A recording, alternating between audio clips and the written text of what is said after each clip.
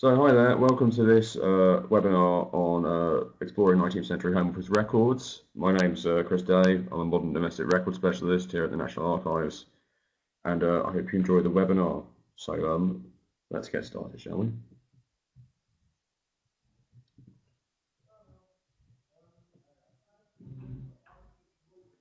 So just got some objectives for today's webinar uh, which I mean sounds a little bit prescriptive, but hopefully just things that we'll come to a shared understanding about in the course of it. So the sort of three main things are is hopefully um, by the end of the webinar we can all understand sort of the Home Office's role and, and roles in the 19th century, its growing roles. Um, we'll gain an understanding of what Home Office, record, Home Office records are held here at the National Archives and gain an understanding of how we go about searching for these records and using them once we've ordered them up. Um, I'd like to draw your attention to the start actually before we get around to the, this guide here, Home Office Correspondence 1782 to 1979, one of the research guides on the National Archives website. Um, really is your very best friend when you're searching for Home Office records, and uh, it is far more comprehensive than I could hope to be in 45 minutes. Uh, but you know, do watch this as well as reading it, please. Um, okay, so uh, let us begin. Um, and I'd like to sort of think about um, sort of what form Home Office records take, well, and, and why we have the records from the Home Office. Um, so Home Office formed in 1782, and what sort of role does it have in the 19th century? Uh, well, it's formed at the same time as the Foreign Office, and it's basically sort of in charge of sort of domestic affairs in Britain. And initially, that starts with sort of main duties like keeping the peace, exercising the prerogative of mercy, dealing with criminal matters to a certain extent, and sort of being the sort of link between the domestic population of Britain in many ways and sort of government at large, which is still sort of embodied in that way by sort of the royal power in, in 1782 to a certain extent. Uh, you can find out more about the duties of the Home Office uh, in books like this. Uh, this is in the National Archives Library. It's the uh, powers and duties of the Principal of State, Secretary of State for the Home Department, which is still the uh, the official name of the Home Secretary. Uh, why do we have the records? Well, like other central government departments, the Home Office is bound by the Public Records Act, um, going on from 1838 onwards to transfer records to us at the what was the Public Record Office, which is now the National Archives, uh, and they do so throughout the 19th century onwards.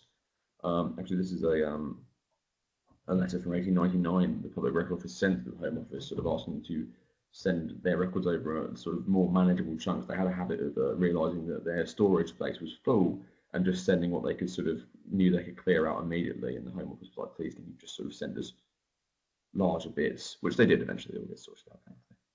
Um, but what form do Home Office records in the 19th century take, you, you might ask? Well, today we're going to be talking about two sort of main kinds of categories of records as far as we're going to be concerned here. And it's important to learn sort of the the uh, sort of language, the vocabulary for these. So I'm just going to look at those now.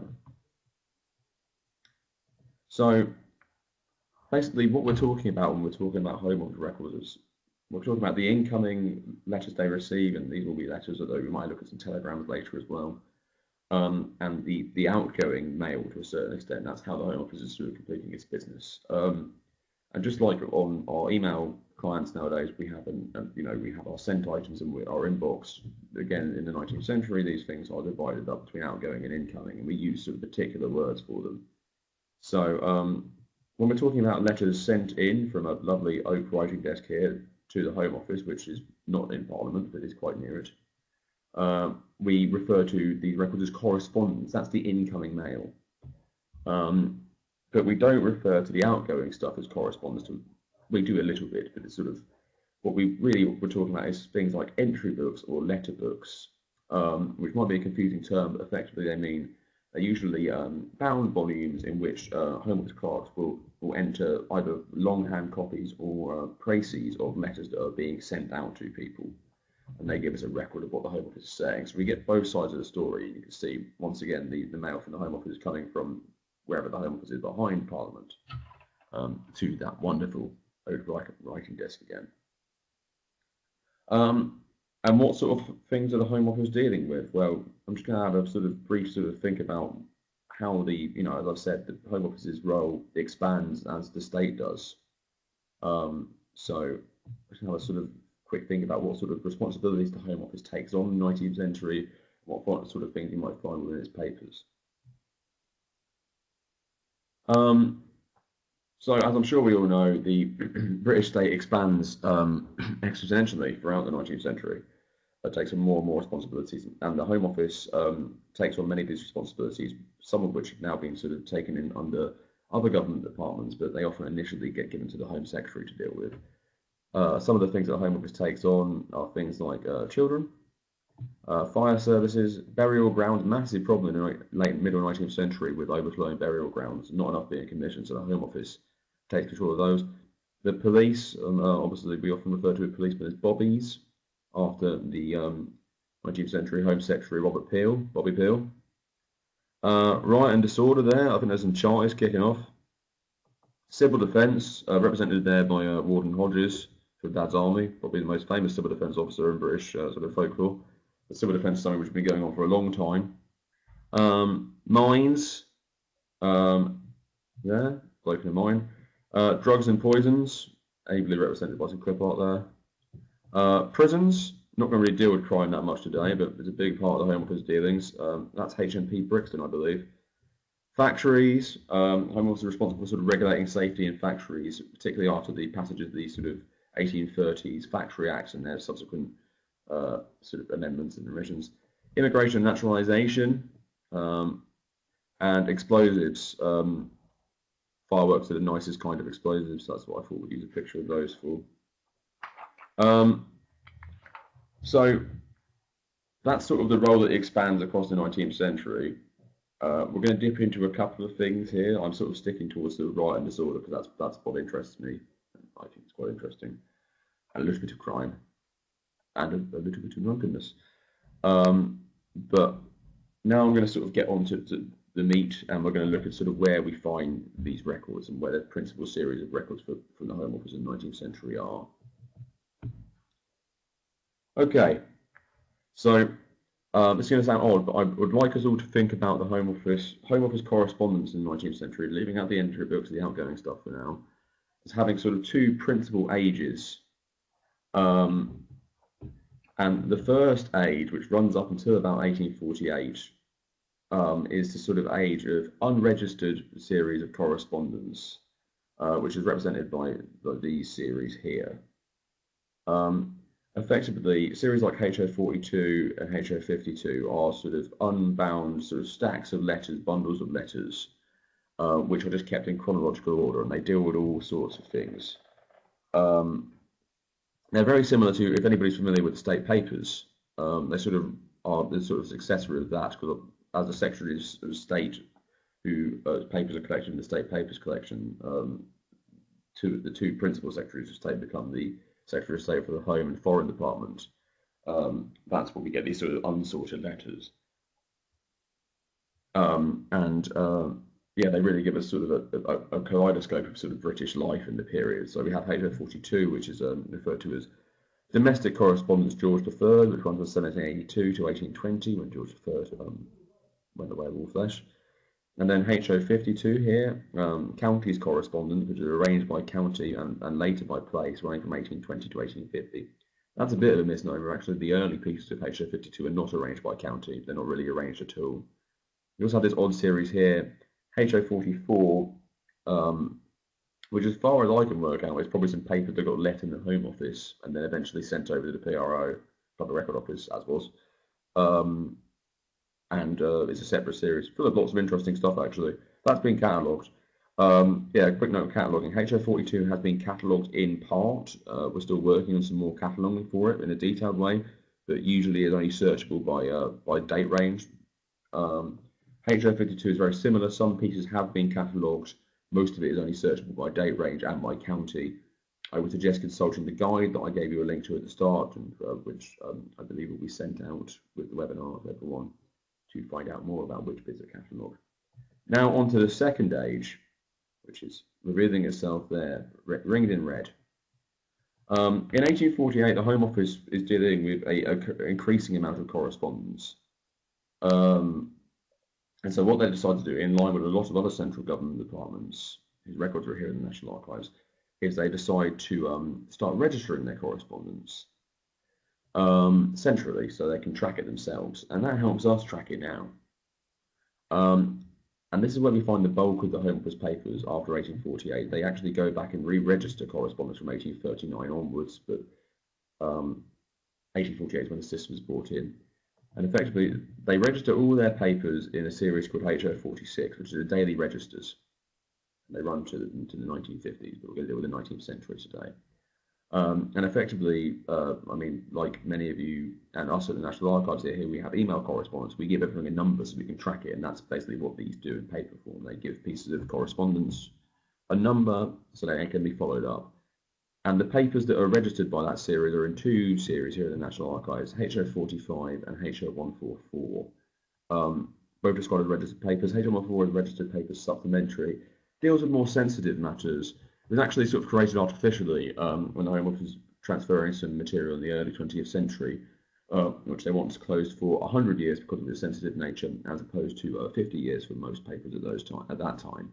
Now we obviously have the 30-year moving to the 20-year rule. Uh, but that's why that system exists. Uh, so effectively, they are the same records, just in two different series. Um, now, we're going to look at these later, but I want us first to start with these unregistered papers, particularly HO42, we're going to take a look at. Um, now, why are they not registered? Is because they don't have that much to deal with. As I said, the, the responsibilities expand out across the sort of years. Uh, but in the early days of the Home Office, as recorded by uh, Jill Pellew in a very good history of the Home Office from 1848 to 1914, um, uh, she says, you know, in the early days of the Home Office, the incoming correspondence was still, still small enough in volume for the Home Secretary to scrutinise the Daily Mail, and, and, we don't mean the paper. Um, do mean sort of the letter bag coming in? Effectively, in the early days of the Home Office, particularly when we're looking at 1819 and 1817 in a minute, um, the only people making decisions on sort of business to do with domestic politics through the Home Office are, is the Home Secretary themselves and uh, their two undersecretaries, their permanent undersecretaries, of what we now think of as the senior civil servant and the parliamentary undersecretary. And they are the only people who make decisions on matters. They have a team of clerks who write letters for them, help them the president, put up old files for them, write letters, etc., etc., etc. But there's only the three of them making decisions, so they are looking every bit of mail. Um, and you can, you know, you often see that reflected in sometimes the undersecretary really only want to look at it and he has slightly different opinions. But um, so yeah, that's why we have the unsorted series really because they will have seen everything, so they don't need to sort of have it registered. Um, so incoming correspondence in the sort of this first age, we've already discussed HO42 and HO52 and HO44. Disturbances correspondence here relates to riots from 1812 to 1855, which is a bit of a weird date. Um, it's a little bit different and sort of anomalous from the rest of these. Um, and we will discuss it in a minute, I assure you, because it is absolutely fascinating um, collection. But I just wanted to take a sort of look at HO42 for a second and think about how sort of because this correspondence is more or less is complete. There's there's not been uh, what we call weeding. There's not been stuff which has been pulled out and destroyed because it's not of historical importance. It's it's comprehensive, um, and as a result, we get a really interesting view of sort of uh, you know domestic affairs in Britain in the period we're looking at there, and sort of we find uh, stuff which is sort of quite infamous in our sort of historical collective memory, uh, sort of sitting cheek by jowl with very mundane, well mundane but very interesting matters at the same time. So I just thought I'd take an example of that. Um, so we're going to look at one particular piece of HO42, HO42-192. Um, and that is, uh, it covers the date range uh, the 14th of August 1819 to the 22nd of August 1819. Now, those of you who are interested in uh, the history of 19th century radicalism um, may be aware that 1819 is the year of the, the infamous Peterloo Massacre, uh, and if you don't know what the Peterloo Massacre is, I will give you a very, very quick rundown of what it is. Uh, the Peterloo Massacre is basically the name which referred to um, a sort of disastrous demonstration by around 60,000 people in Manchester in, in 1819, the 16th of August 1819. Um, around 60,000 people had assembled on St. Peter's Field in Manchester um, to demonstrate for parliamentary reform. Um, it was from the start sort of billed as a peaceful demonstration, but the Home Office and the magistrates in Manchester, who they were very close contact with at that time, magistrates would run agents to try and inform on people, and you know, sort of generally sort of be the Home Secretary's eyes and ears, and sort of his it's also his, his fist to a certain extent in the provinces in that period. Um, so the magistrates and the Home Office are very concerned. Um, so as a result, they keep a very close eye on it. They also deploy a cavalry and yeomanry or sort of volunteer cavalry on the day to make sure there's no trouble at the demonstration. The demonstration is peaceful in conduct, um, but sort of in a confusion, cavalry charged the crowd um, and 600 people were injured and 15 killed, including a child. It's referred to the Peterloo Massacre as a play on words, as the, the Waterloo Massacre. And HO 42192 provides us with some of the sort of most detailed historical accounts of Peterloo as it was happening. Um, so, for instance, here on folio 207 of HO 42 slash 192, we have the first written report that the Home Office receives um, of the Peterloo massacre. Um, it's a letter from um, a man called uh, H. Allen, who's a magistrate from Huddersfield, who happened to be in Manchester at the time. You can see the close relationship the Home Office has with magistrates at this point, where he refers to the Home Secretary and his undersecretaries as gents. Um, he basically reports what's happened. There's been some, some, some cavalry charged the crowd, they are currently sort of trying to clear the streets and in all directions. Um, it's sent overnight on a coach, so the Home Secretary doesn't actually receive it until the 17th of August. Um, but you can see it's very hastily scribbled on some scrap paper there. So that's sort of the news is travelling as fast as it possibly can. Um, so we get these really, really exciting letters, but also the Home Office isn't just dealing with sort of the exciting stuff here, um, because a few days beforehand, um, on folio 94 of this piece, they receive a letter from a man called Charles Butler, um, who, as far as I can work out, was a lawyer. Um, and Butler's letter is um, is very similar to one of the hundreds of emails and letters that uh, we at the National Archives receive every year from members of the public, because it's asking for um, for archival research advice. Uh, basically, Butler is um, after copies of petitions and examinations of, of, of, of Catholics, of Roman Catholics, um, taken during the Elizabethan period, which he thinks might be in the State Paper Office, um, which contained the state papers, uh, which some of which are now held in the National Archives. It was abolished in the 19th century um, after the establishment of the Public Record Office. Um, and so he asked for this advice. Actually, strangely, if you look on the reverse, which I haven't got a picture of, uh, you will see that the Home Office commissions a search of the State Paper Office for him to see if the records are there um, which we don't really have the resource to do nowadays. But I'm sure if they had research guides, they probably would have sent him a copy of one of those as well. Um, I think this just goes to show a sort of range of sort of from sort of the the infamous and the sort of very quite scary and violent to sort of the more sort of uh, workaday stuff that the Home Office deals with, and just how much of a range you can get in these pieces of correspondence. Um, now, I mentioned entry books before the outgoing correspondence because if you look through HO42, which which you can, it's um, it's on digital microfilm, uh, available to download for free from the National Archives website, as is HO52 and HO40, which we'll deal with in a minute. Um, you'll notice that there aren't any replies in there. Sometimes there are scribbled replies on the backs of letters, um, but not full replies. Where do we find those? Well, as I said before, we find them in the entry books which will reveal themselves now. And you see, the Home Office sort of, as opposed to having these unsorted series to a certain extent, they start creating sort of particular discrete series of records to deal with uh, copies of replies for particular kinds of business. So, and it's always worth thinking about where a reply to a certain letter might end up. So the first letter from, from Mr. Allen, the magistrate, it quite deals with quite a sensitive matter. So we would expect that to end up in a record series like HO79, private and secret entry books, um, which sort of deal with the sensitive matters. They're, they're quite good. Um, whereas Mr. Butler's letter is, is, is relatively sort of normal, and, and uh, I would call it quite common and garden or domestic, if you will. So we'd expect that to end up in HO43, the, the domestic letter books, or entry books. So the words are interchangeable. Um, entry books are a really interesting way to sort of read yourself into what the Home Office is dealing with in a particular subject in that period, uh, because they deal with specific subjects, particularly during this period when we have this unsorted correspondence, which often isn't catalogued that well. Um, they aren't catalogued well themselves. Uh, a couple of HO79 pieces have been catalogued to letter level, um, but mostly it's a case of um, searching for a year range for the series in advanced search and ordering up the particular volume and having a flick through to see what they're up to.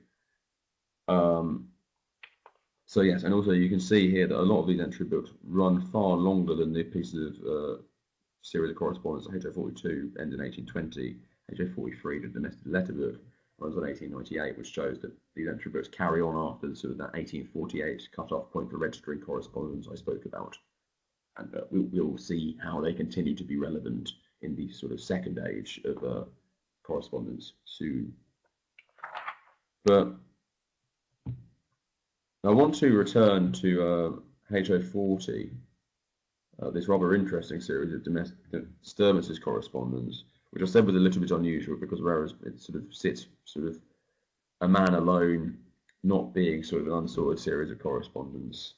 Um, and basically it allows the Home Office to collect together correspondence to do with sort of riot and fear of radicalism throughout the country, running from um, sort of early in the 19th century with the Luddite disturbances in, in, in the first decade, um, through to uh, sort of the parliamentary reform that we see in the the uh, sort of 1810s after after 1815 and the Napoleonic War finishes, and then through to uh, things like Chartism in the middle 19th century.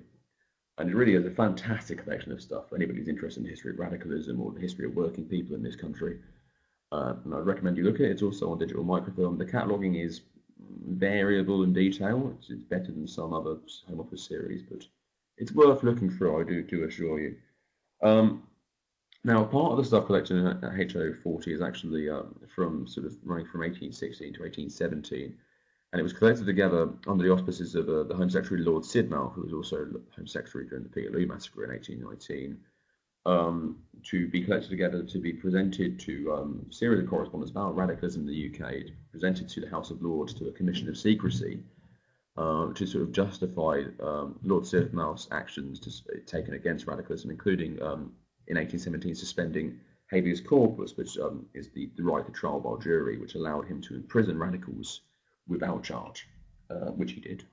Uh, not a popular man. Um, and so I'm just going to have a look at the sort of things you can find in HO40 quickly by having a look at this the Pentridge Rising of 1817. I'm probably mispronouncing the name Pentridge. Uh, used to be spelled Pentridge, so I'm going to go with that. Um, now, the Pentridge Rising takes um, place in 1817, and uh, this is a tumultuous time um, for the working people of England. Not, they're not having a great time, particularly the years after, immediately after the Napoleonic Wars finish in 1815 are, are quite bad for working people in, in Britain. Um, there's a number of different reasons. I mean, so there's an economic depression after the war, as there so is often, often is after the war. Um, the Corn Laws which are sort of designed to try and protect uh, agricultural prices, put the prices of, of, bread and other stuff up, which is particularly bad for working class people, although they wouldn't be referred to as working class because they haven't really been proletarianised. Um, things like the repeal of the Apprenticeship Acts sort of lead to sort of less secure employment for people. So we see things like the beginnings of the parliamentary reform movement because a lot of people see that sort of uh, the way to sort of find restitution for this is to sort of be able to vote for their own MPs and actually have some say in how the country is run, as opposed to at the moment where you have sort of effectively an oligarchy of landowners sort of running the country. Um, and this creates a, a, reaction from government as well, including the suspension of habeas corpus in 1817 in March, and a sort of, you know, rebellion, rebellion, it's quite serious rebellion is fermenting. And then we have the Pentridge Rising on the 9th of June of 1817, which is in some ways sort of England's last proper revolution, although, as we will see, not a particularly successful one. Um, there's a copy here of a pamphlet which is actually seized from a prisoner, which we find in HO40. There's a whole series of uh, documents which presented to the House of Lords, which were found on radicals who were arrested. This is a pamphlet called Address to the People. Uh, and it really sums up the sort of the situation, and the feeling among certain groups in society, the disaffected, as they were called by uh, the authorities at the time, quite well. Uh, the writer remarks on sort of the, the state of, of people's kitchens at the time. He says, We find our cupboards void. Our ceilings, which once bowed with well-fed beef, are now adorned with dried, dried herbs and with the ragged remnants of famished spiders. The poor journeyman manufacturers are obliged to work late and early, to get money to pay enormous prices for food, to cruel adulterators of our bread, who at this melancholy moment are poisoning us with their villainy, under the pretence of enabling farmers to pay their enormous rents, and of course keep up the splendour of the landholder. So you can see, you know, this is like full-on class war to a certain extent, although obviously we don't really talk about class yet because people haven't been proletarianised. Um, but the, basically, this pamphlet goes on to sort of appeal directly to the Prince Regent, saying that basically the solution to this problem is to give working men the franchise so they can vote for their own government and they can have a fair government. Um, this sort of thing is not received well. You get societies called Hampden Clubs in this period, uh, or effectively debating societies booming for parliamentary reform. They're quite heavily repressed. And against this background, the people start to think about taking more drastic action and calling to people people who got involved in the, the rising in Pentridge on uh, the 9th of June 1817. Uh, Pentridge is a village in Derbyshire. You can see it here. There's Derby, Nottingham sort of here-ish. Uh, I had to look that up the other day. My English geography is not as good as it should be. Um, what is the Pentridge Rising? Basically, uh, I'm going to give you a very quick lowdown because I've got a lot to get through.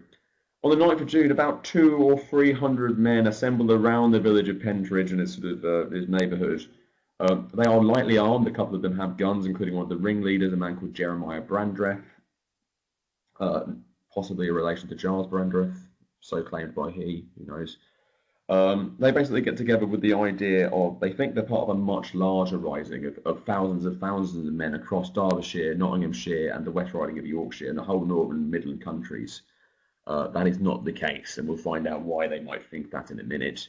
Um, they get together, they start ranging around trying to find food and further support. Um, some people don't want to come up, including uh, one house, they bang on the door, um, a woman refuses to open the door, someone breaks a window, and, and, and Jeremiah Brandreth, uh, who's carrying one of the muskets they have, fires through the window and kills a servant inside the house.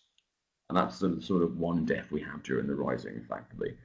Um, they then try and take an iron foundry, but they're seen off by about three or four men armed, armed with sticks.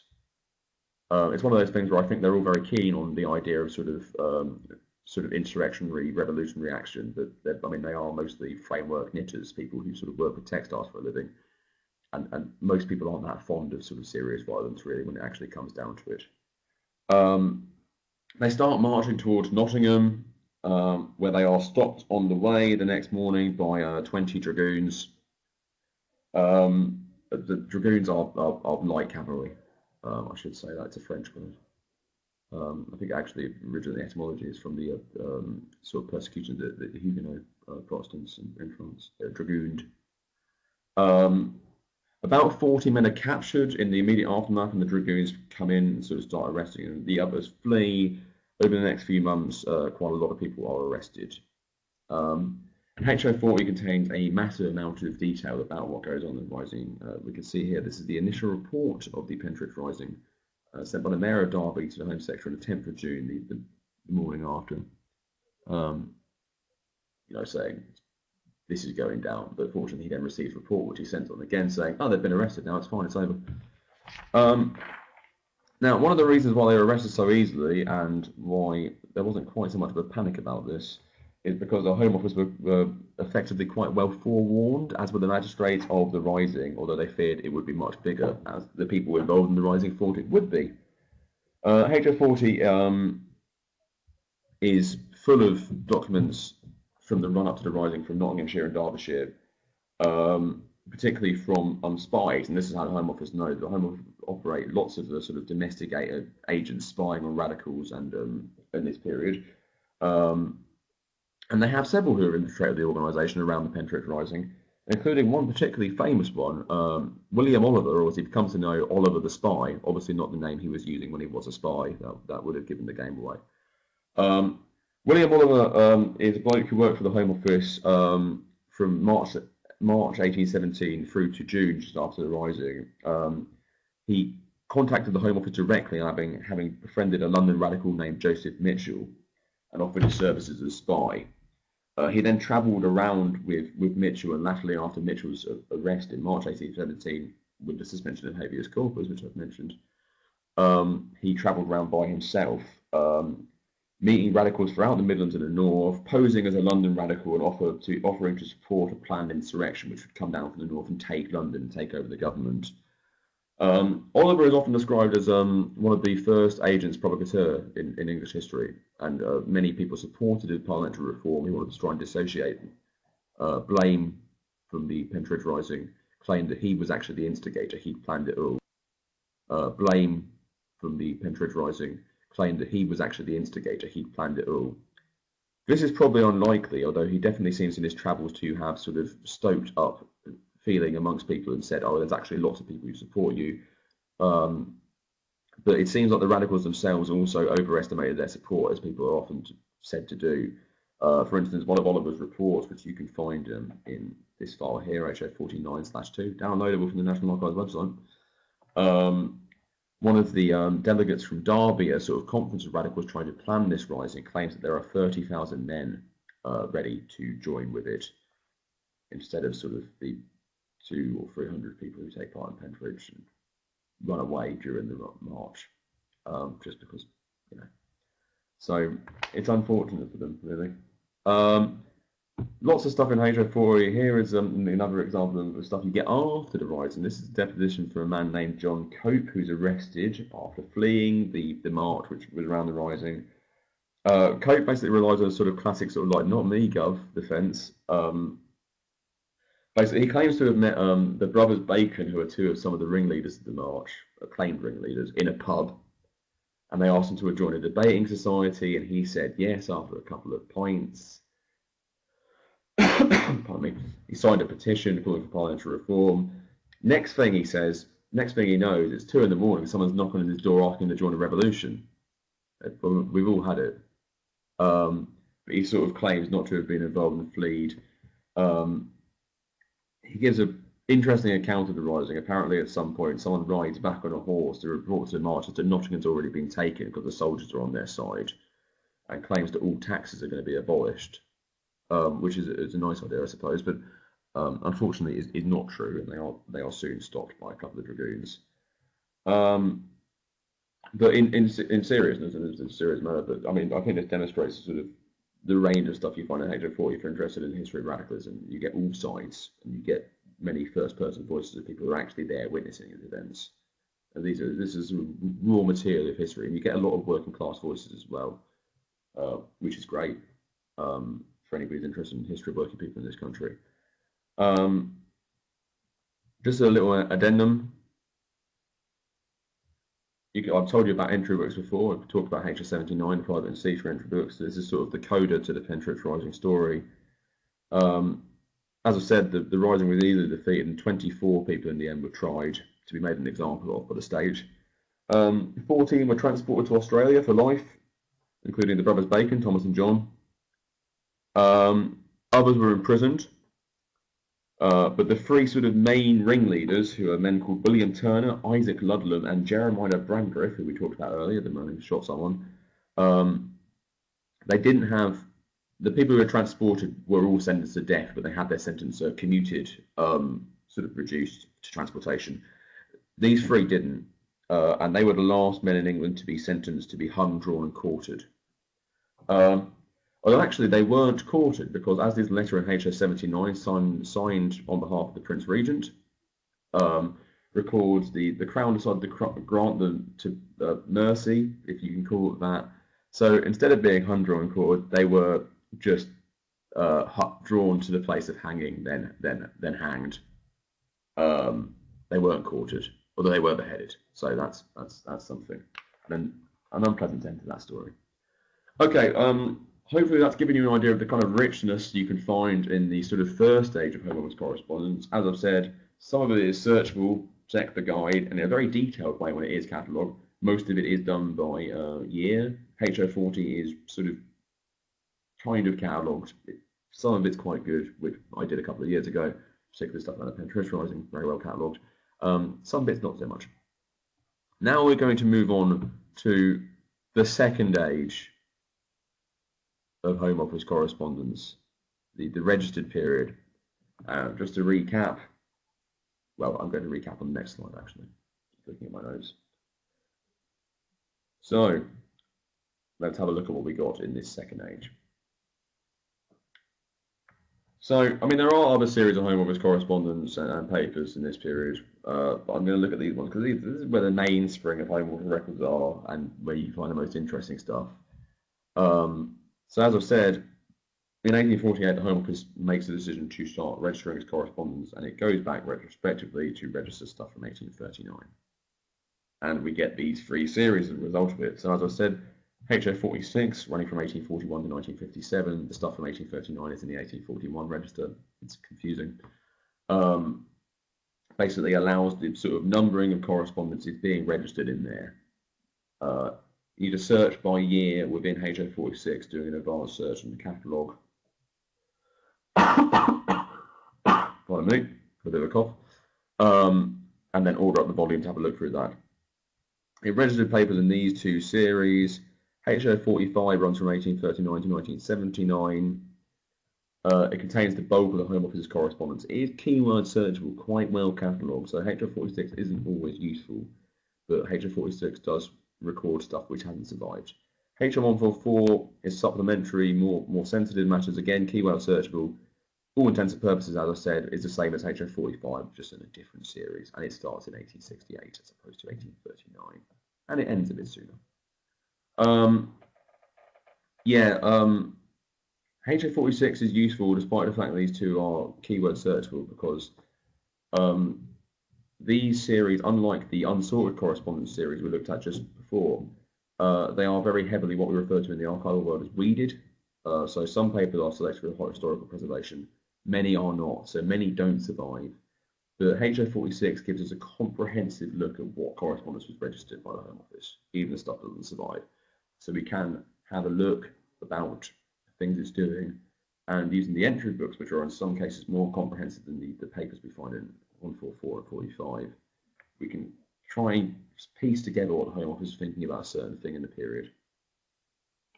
Um, now, I said there were two ages of Home Office correspondence, but there are actually in the second age three mini ages, which I'm going to go over now and try and draw some examples out from. That will make sense in a second, hopefully. So the first part of the second age, um, and these basically deal with the way that the Home Office registers its correspondence. As with any sort of organisation, it sort of evolves its record-keeping practice as it goes along. Um, in 1839 through to 1855, HO46 registers are um, arranged chronologically, and they are either not indexed, or if they are indexed, they're indexed quite quite poorly. Um, and they also jumble together years in some cases. Um, they can be quite difficult. I would basically suggest in this period that you're probably better off just doing keyword searches in HO45. Um, but if you do want to have a look, your, your only option really is to, to, to, order a register for a particular year uh, and browse by the date to try and look for things, because that's generally how things are recorded. There's no way of sort of indexing these registers, so you just have a mass of papers uh, based on when they came in chronologically. And if you don't know when something came in chronologically, obviously that can be quite difficult. But you could use an entry book on a particular subject to try and find dates. But um, yeah, that's. Now we move to the, the second mini age of the second age. I'm going to stop saying this, is quite confusing. 1856 to 1871, uh, things get easier in HO46 because every year the Home Office produces a register, which is basically that chronological register of every piece of correspondence coming in being given a number, but they also produce an index which allows you to not have to know what date you're looking for. Uh, so it's really useful. And we're going to look at an example from this period of Home Office correspondence registration. Um, and we're going to look into the um, the, the case of uh, Constance Emily Kent or Constance Kent, the uh, the murderer, um, whose uh, story was a uh, immortalised and brought to public attention again by uh, Kate Summerscale's uh, book, The Suspicions of Mr. Whicher, and the, the subsequent, I think, ITV television show. A sort of fictional, semi-fictionalised. Um, some of you may have seen it. I, I have actually not. But we will look into it. Um, for those of you who don't know, basically, um, Constance Kent's father was a man called Samuel Kent, who was a sub-inspector of factories employed by the Home Office. Um, and his boss was Mr. Baker, who was the inspector of factories for most of the Western England. Um, in 1860, in June 1860, um, Samuel Kent's three-year-old son Francis Kent um, was was found dead in the in the privy of their home, uh, quite quite brutally murdered. Um, I, I shan't uh, talk about the specifics of the murder you, in case any of you are squeamish, but it was it was quite brutal. Um, Scotland Yard sent a detective called uh, Mr. Whicher, uh, I think Jack, but I have not written down his Christian name. I've it. Jack Whicher, I think is, um, to investigate the murder, uh, and he suspected Constance, the um, Mr. Kent's 16-year-old uh, daughter, uh, who was half sister to Samuel. Uh, she was arrested, but she was subsequently re released. There was a bit of a to do at the time because uh, Whicher was a was a was a working class man, and uh, Constance was quite a well-to-do lady. Um, so sort of there was a bit of an outrage that she was accused. Subsequently, in 1866, uh, Constance confesses the murder to a Roman Catholic priest and asks him to help her um, to, uh, bring herself to justice, which she does. She's convicted of the murder subsequently in 1866, and she spends uh, 20 years in prison, and then she uh, moves uh, to Australia, she becomes a nurse and dies at the age of 100 in 1944.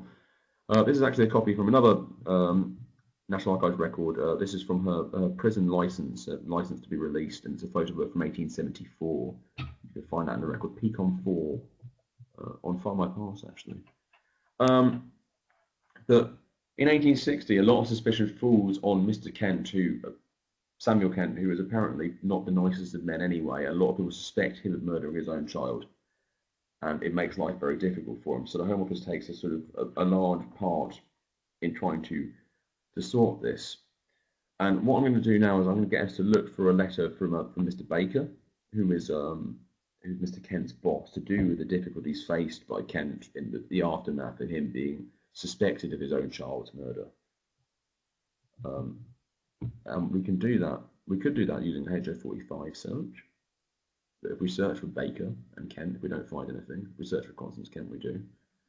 But I thought this would be a useful way to explore how HO46 works, works and how we can use it now in our current research. So I know that these events took place in 1860, so if I look on the catalogue and make an advanced search in HO46 as a reference for the year 1860, you can see, as I said, we get the register and the index for that year in HO45, HO46 slash 24 and slash 25.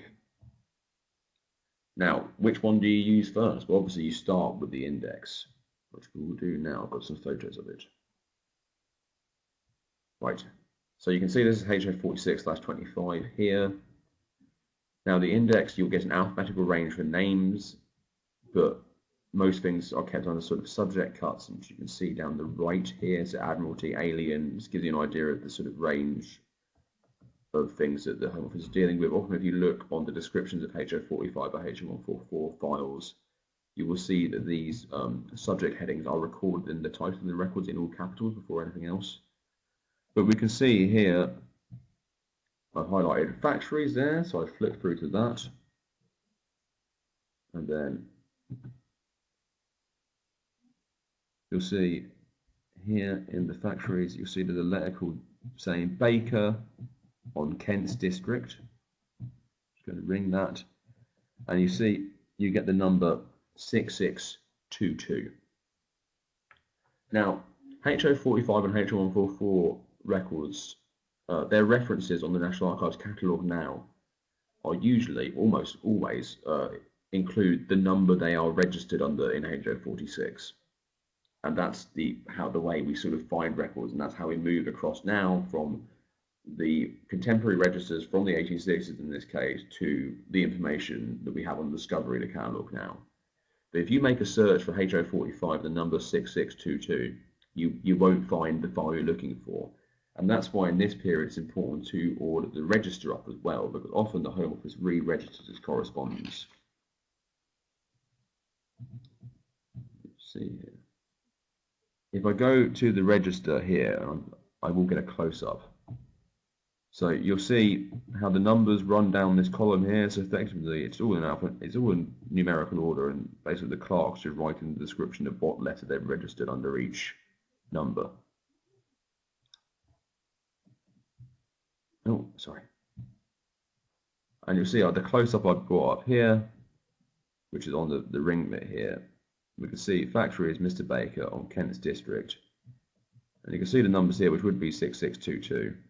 Um, you see someone's written in red pen OS 6970 and that's the Home Office re-registering correspondence. It often does if it brings files together or if something's of particular significance, it will give it what they refer to as an old series number. The old series starts in 1848 when they start to re-register, well, to register correspondence from 1839 onwards retrospectively, but it continues long after this practice finishes.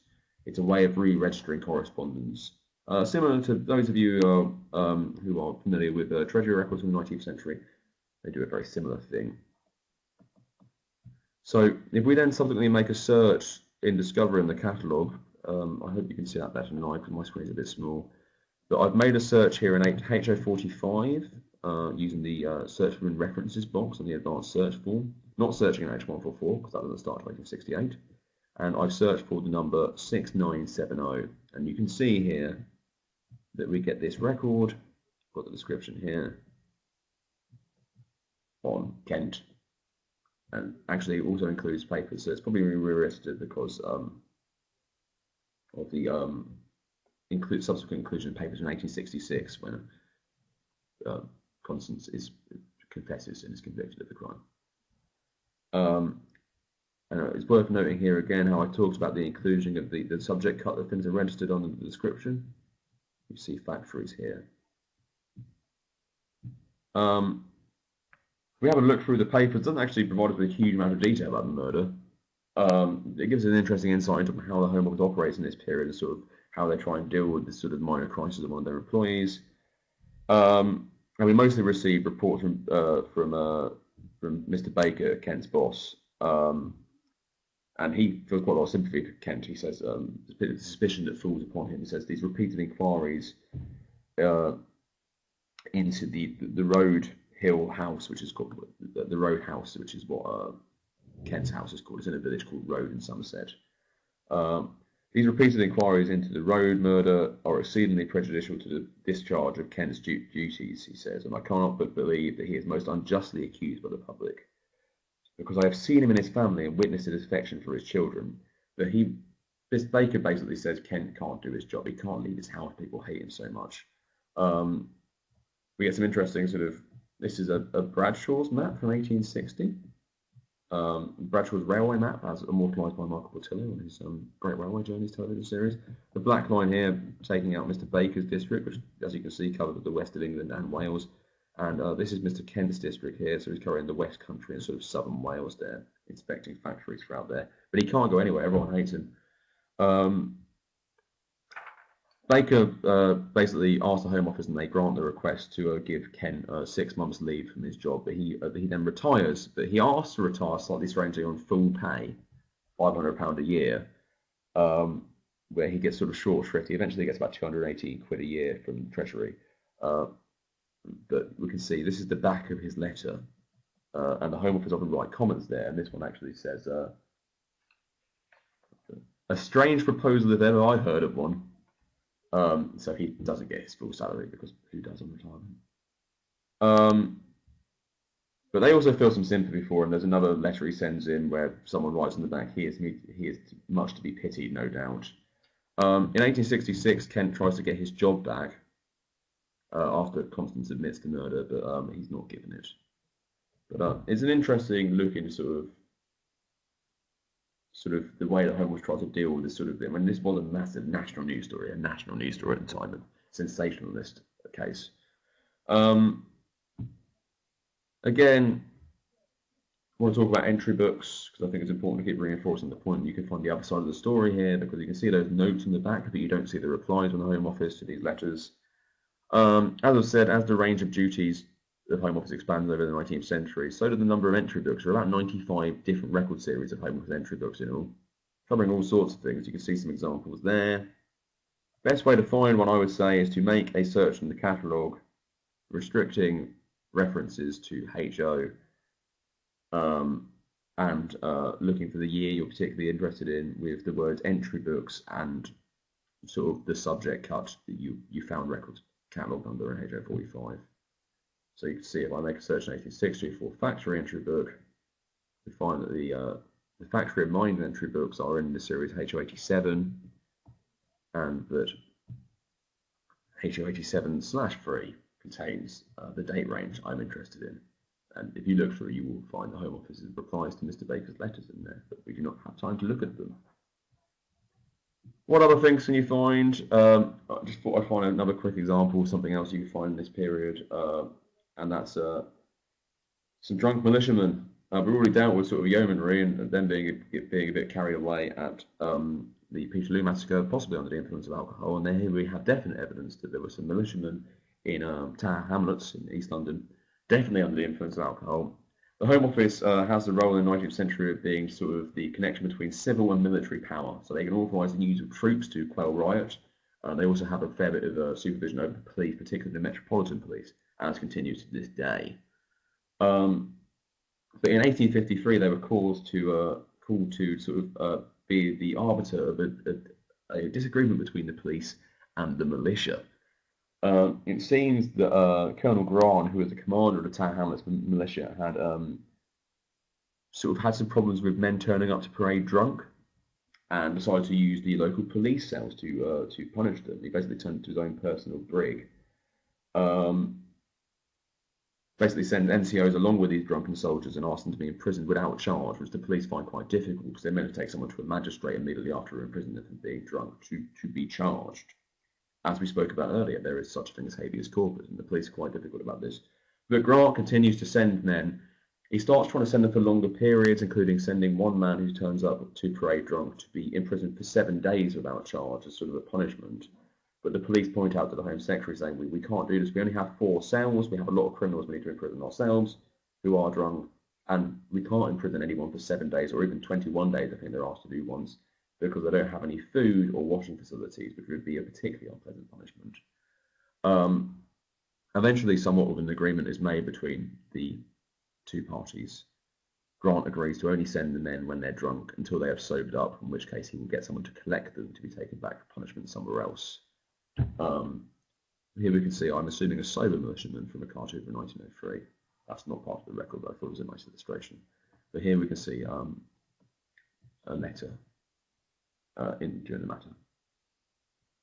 Um, yeah, so but yeah, I think it's fair to say that even by Victorian standards, being in prison for seven days without food is a bit much. But that's just an example of the other kind of papers you can find in this period. Uh, have a look through the catalogue, make some keyword search on the subject that you're interested in, or look a HO46 and just look at a range of stuff that people are doing that year. Uh, they really are fascinating. Now we're going to move on to the, the third age of, of Home Office correspondence being registered, um, which runs from 1871 through 1949. This is the final one. Um, we get rid of the separate registers and indexes um, and instead we have multiple registers which also act as indexes for each year which are arranged by subject cut in an alphabetical order. Um, so you need to think about the subject cut you might find something under and then order the appropriate range. I don't know what happened to D this year. Um, obviously nothing happened with D in the name. But what kind of subject cuts do we find? Just worth about, I'm just going to jump out of the 19th century for a second and look at something to do with suffragettes and what kind of cuts, subject cuts within our HO46 register we would find uh, materials to do with suffragettes because it does range. Things like criminal, compensation, elections, disturbances, prisoners and prisons, prisons and prisoners, sorry, suffragettes, and criminal cases. And you can see again throughout HO45 and HO144 the subject cards are recorded in the title of the record. So it's worth having a play around on HO45. Also, if you're at the National Archives, you can look at the paper catalogues, which often have lists of subject subjects in the Home Office papers, uh, and then order the appropriate register for there. Now,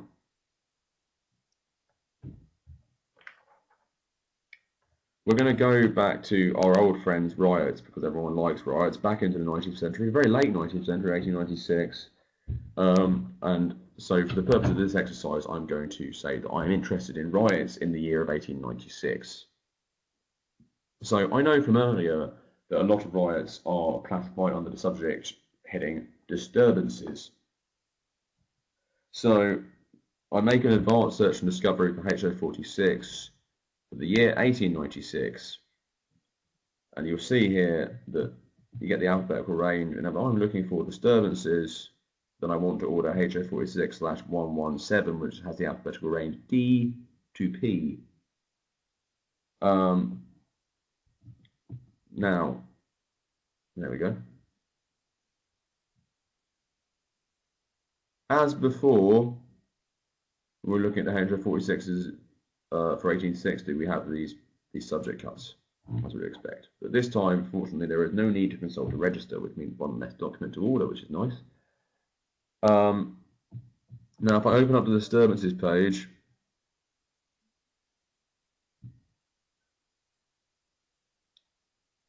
um, we can see, I mean, hopefully you can see in the photo. I've got a zoomed in photo I'll show you in a minute.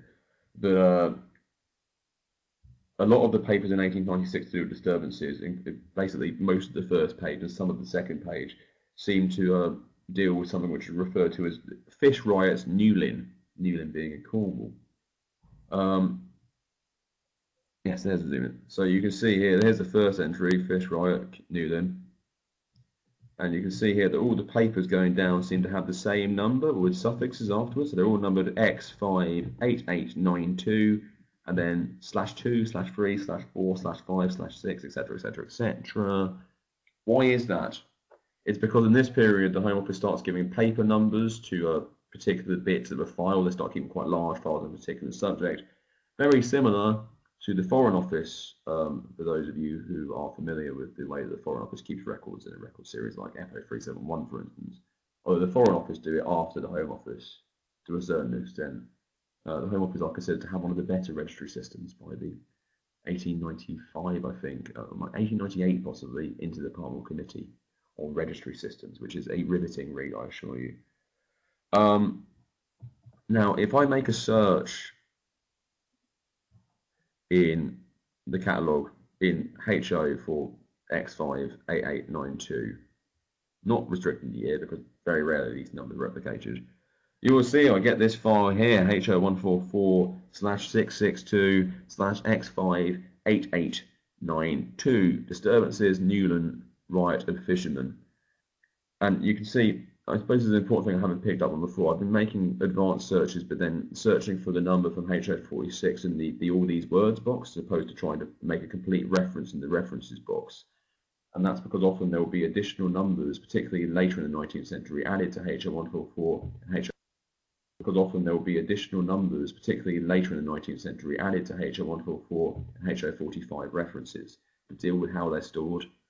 Um, so it's important to, to not try and do the exact reference straight away because it, it, it may not work. And that may not be because the file doesn't survive, as many don't. It may be because there's an additional number somewhere in there. Um, now, if we look, see some of the files, and you can see how the paper numbers are not replicated in the cataloging for the file itself, but you see when you actually order up, you get a whole bundle of different papers, each bound up in little folders. And you'll see you get the number up there, and then the, the, the, the sort of sub number, the paper number two here. That's the first paper, so you see that has no number next to it. It's just X58892. Um, now, I imagine I've tantalised you now by mentioning the Newlyn fish riots, and you're wondering, what, what are those, Chris? Well, thankfully I can tell you because I've read the files. Um, Newlyn is a, basically a village which is now basically uh, continuous with Penzance and Cornwall. Um, in 1896, it is home to one of Britain's uh, one of Britain's largest fishing fleets. Many of the fishermen in Newlyn are Methodist or other non-conformists, and they are very, very strict about observing not, you know, the Sabbath, and they don't land fish on a Sunday. People who have no such qualms about landing fish in the markets of Newlyn on a Sunday, though, are fishermen from Lowestoft and Yarmouth up around Norfolk Way, um, who, realising that the Newlyn men don't work on Sundays, or won't sell on Sundays, get in the habit of heading down to the Cornish fishing grounds on a Saturday and then pulling into harbour on a Sunday and selling fish. And this really upsets the Newlyn fishermen because um, it floods the market and drives down their prices, so they find it hard to make a living. They try and get restitution between sort of various negotiations peacefully, but they're getting nowhere. And after a particularly rough patch on the 18th of May 1896, uh, they take direct action, and I really do mean action. Um, now, before we were looking at the very start of the webinar about uh, reports of the P Peterloo massacre only reaching the Home Office the next day, having been sort of taken on a rip-roaring coach ride down from Manchester. 1896, uh, telegraphy is, is, is everywhere.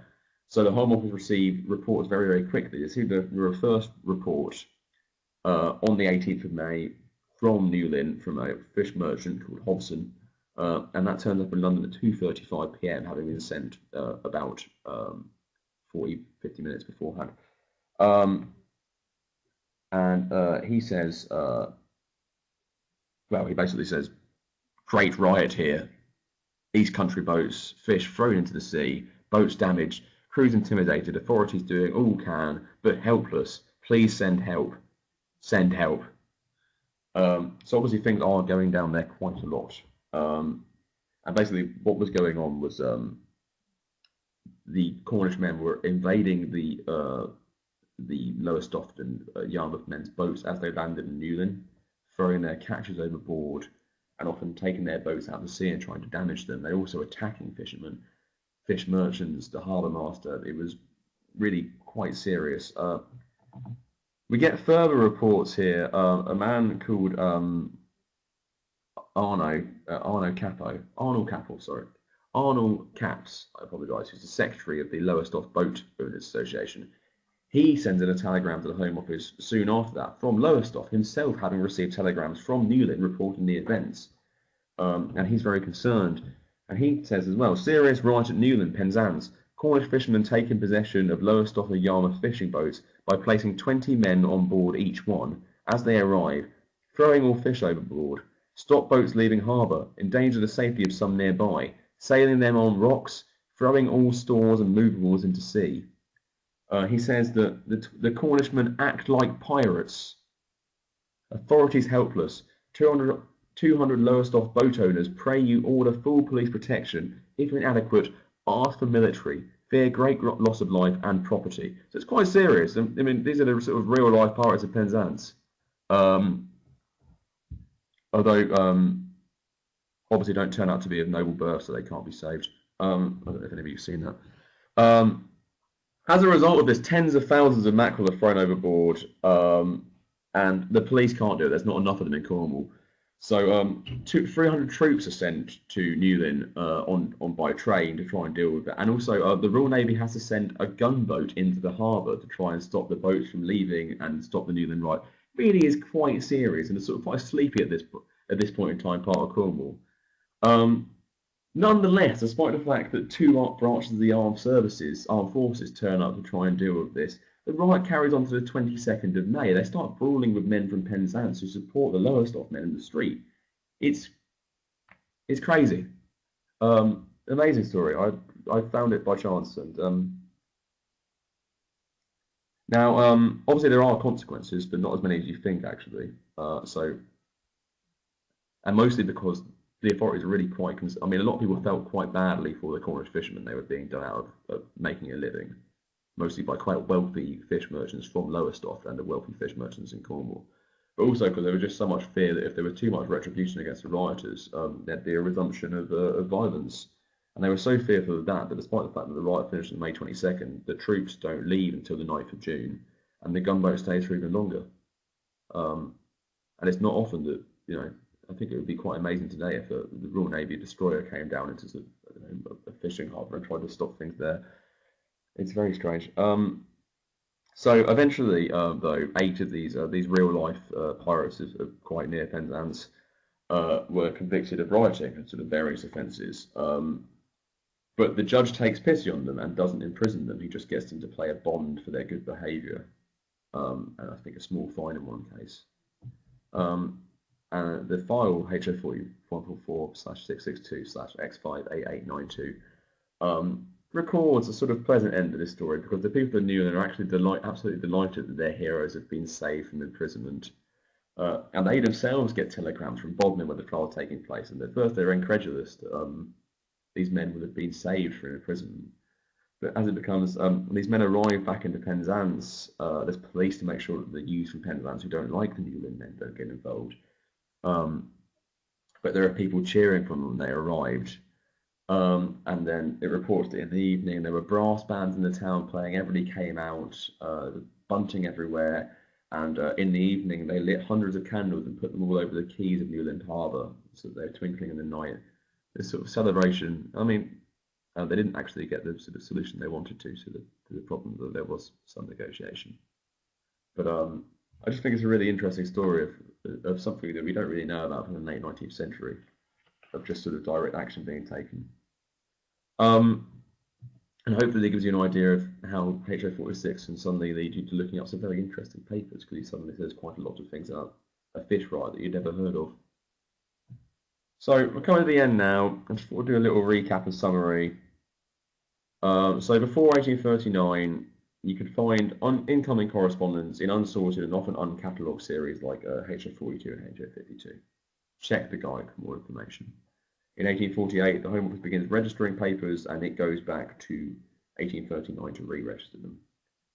The papers themselves are, are registered in HO46, these big ledgers which give the numbers for each one and, and sometimes indexed later years.